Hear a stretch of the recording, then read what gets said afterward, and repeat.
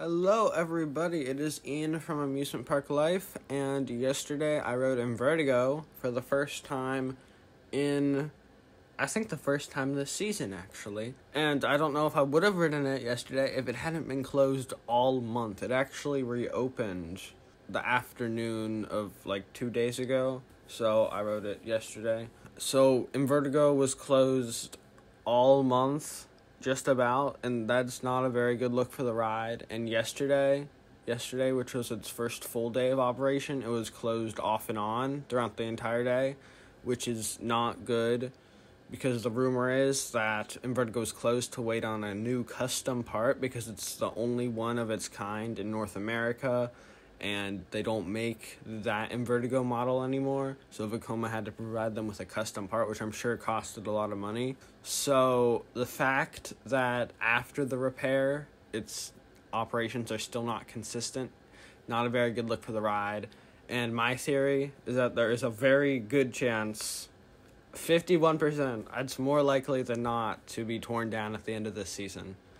Just to save money and we we just got a new coaster this year. I know it's a family coaster, but I mean it's a new coaster and it's a boomerang, so perfect excuse to get rid of Vertigo finally. And 2025 we're getting a water coaster. I don't know if Kings Island will count that as a coaster. I know Hersheypark counts their water coaster as a coaster, but if Kings Island wants to make up an excuse for getting rid of Vertigo, they can say, "Oh, we're getting a new coaster next year," just like when we got rid of Vortex, we got Orion the next year other than being a maintenance nightmare, Invertigo is often considered to be the worst roller coaster at Kings Island. In my opinion, it isn't because it has a purpose. Other people see it as pointless and jerky and just worthless, but it's the front entrance coaster. It has been since 1999. It's first impressions, it's the first thing you see. It's actually a pretty cool coaster to see at the front. I remember it from when I was a little kid, and I mean, I'm gonna be sad to see it not there. Of course, I understand why it needs to be torn down. Some people do appreciate it as that front entrance coaster, but they still just believe it to be a jerky coaster, which I don't think it's jerky. I rode it yesterday. It I didn't feel my head banging around. I guess it depends on like how tall you are and all that, but I felt it was more intense than jerky. There are definitely some valid criticisms for this ride, and I'm sure it only really gets a line because the capacity is awful. If it is removed at the end of this year, I think Congo Falls could go with it. I mean, that would leave a good plot of land open, but then it would need to be replaced like 2026 or 2027 before the Vortex area because it's just a gaping hole in the front of the park, and that's not really a great look. Looking at those coaster concepts from the survey from a few months ago, I think a coaster that would be a very good front entrance coaster would be that Mack extreme spinning coaster tower thing. Obviously, I want like an actual extreme spinning coaster, not a shuttle one. But if I had to choose one of those to go in the former Invertigo area, I would choose the Mack Tower ride. If that does happen, I would hope the Vortex replacement is like really good then if we're putting it off until like the 2030s or 2029 or something.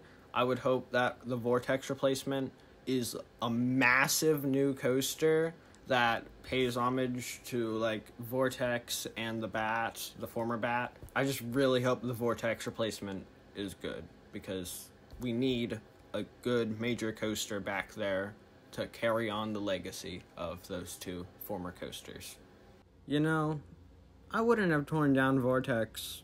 If I had been in charge, I would have done what Busch Gardens Williamsburg did with Loch Ness Monster.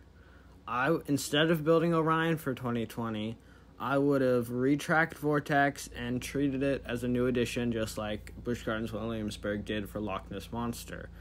Then I would wait a few more years before building our Giga Coaster because Kings Island deserves a lot better than Orion, and Orion could have been a lot better. I'm not saying it's a bad coaster. I know I, I don't want to spark any controversy. Orion is not a bad coaster at all, but it could have been so much better. It really could have. What's happened has happened, though, and we can only hope for better things in the future. Unlike Vortex, I don't really see any need to save Invertigo. I know it's the last of its kind in North America, but that just makes it harder to maintain. Invertigo isn't a classic ride like Vortex was, so and not not as many people will miss it. So I feel like that there's a plenty of reasons to remove it, and with all the maintenance issues this past season, I feel like 2024 might be its time to go. Before I end this video, I just want to say that I took about 24 minutes of Invertigo footage last night while I was at the park. So I'll probably post that all at the end of the season, either as a tribute to the ride if it gets torn down, or as just 2024 footage. So stay tuned for that in a few months, I guess. Thank you guys for watching. Please subscribe and comment down below about what you want to see on my next video, and bye.